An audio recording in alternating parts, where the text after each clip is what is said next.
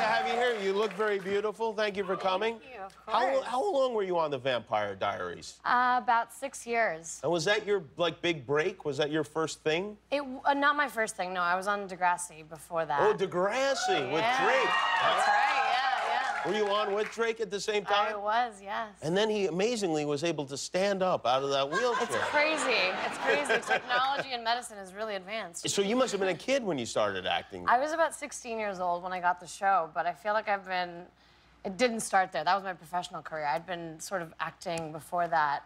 Acting out um, That with too. your parents? that too, all the time. But no, my, whenever we'd go anywhere, I would make up little characters and lie to people and say that I was somebody else, have an accent, have a whole backstory created. My mom would come up and, and find out that I'd been lying to people. So your mother was letting you wander around alone as Yes. a child, Absolutely. doing an accent to strangers who then were puzzled as to why kid had an accent and mom didn't. You're really lucky to to be here and not like in That I an orphanage or something Yeah, right now. Yeah. I heard you love the 80s. I do. I was born extent? in the 80s. I, Oh yeah, yeah, I guess so. But you missed really the 80s. I, uh, 1989, so technically the 80s, but just on the cusp, yes, technically. So, because you, you have a, uh, I brought a photograph here. Now, tell, before I reveal this, because it's one of the great photographs I've seen, tell us how this came to happen. Well, we it was Labor Day weekend. Mm-hmm. We wanted to do a throwback party and have crazy outfits and pay an homage to the years that we were born in, Mm-hmm. and that was the 80s. And we thought it'd look great on Instagram because And you were right. And at this party, not only were you there in an outfit, by the way, that I've ne- I never saw in the 80s. we would still be in the 80s if anyone wore this. And the, John Stamos himself. Is that really John, or is it a cardboard cutout of John? it's actually John wearing John or Jesse.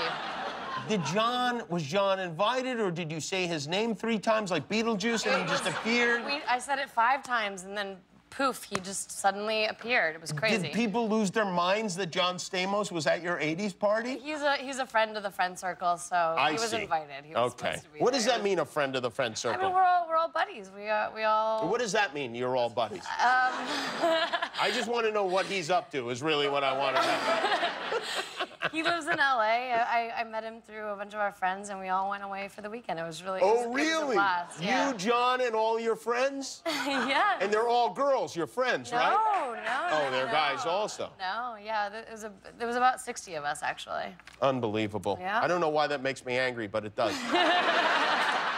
Tell Next time about- you'll, we'll invite you next time. yeah, right. Flatliners is a movie from what year did the original Flatliners come out? I think 1990. Is this a reimagining of that? Because That is the new trend to call it a I like that. Yeah, I don't know who came up Yes. with reimagining instead of remaking, but it sounds I. much more exciting when you reimagine a film. Totally. And you play who in the movie? I play Marlo, who's this overachieving, sort of competitive, very stubborn, determined doctor, or she's, she's a resident who wants to become a doctor. And she tries to kill herself in order to find out what happens in the afterlife. Yeah. Yeah. And people should not do that though at home in general. That's please do not do that. that is, it's not gonna. I'll tell you what happens in the afterlife. You start wearing shirts with your own face on them and appearing at parties in spandex. At least that's what's gonna happen to John in the afterlife. He looks great though. he looks exactly the same, which is the craziest part. I know he. I know that's part of what makes me so angry about it. Like, he seems to get better looking with each year. Mm-hmm. Like he'll be at like your 70th birthday party, and you'll be an old lady, and he'll still look exactly like this. Is John gonna come out here No, right now? I feel like we spent the entire interview talking about it. Well, listen, everyone thinks about him a lot, so it makes perfect sense. I feel like you think about him. a I do think about him a lot. Yeah, yeah he's number one on my, uh, you know, flip to the other side list. Yeah. Well, it's very good to see you. Congratulations. The movie's called Flatliners. It opens in theaters September 29th. Nina Dobrev, everybody. Do you love clicking buttons and subscribing to things? Then click the button to subscribe to my channel, and you'll finally be happy.